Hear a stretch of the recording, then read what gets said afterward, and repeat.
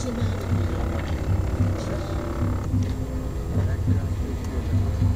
yeah? That's what I want to do. In here. Let me know if something falls off. I might have unpacked it.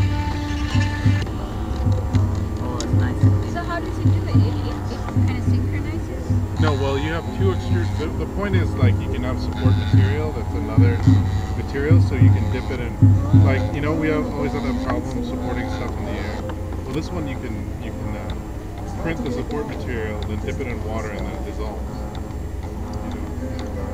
So right now we're using the same technology to print with multiple colors. So we could print out a globe with the continents colored in. Or we could do like something using a PLA on the inside and it lights up when you try and light through it.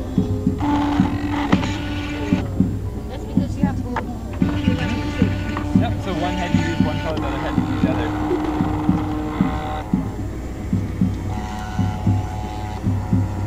Where's our space building?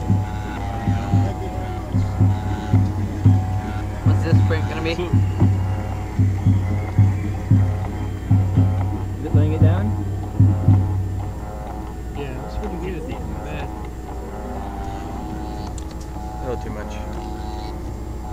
So is the is the in modeling is it, is it significantly different or like how? It's pretty much the same thing that you would normally model with, but you'll Yeah. have two models, one for each head.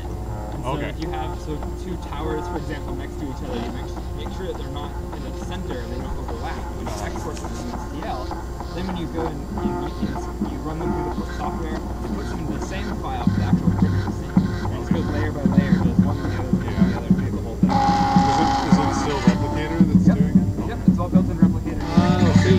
goes to that was.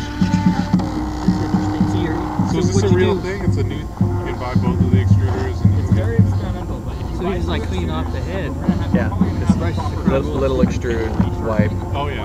Um, so we're still kind of working Terrible kind calibration right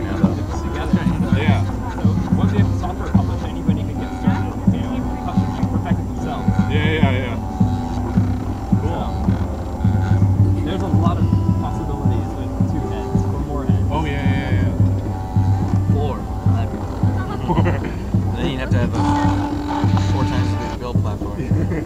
But it would be awesome.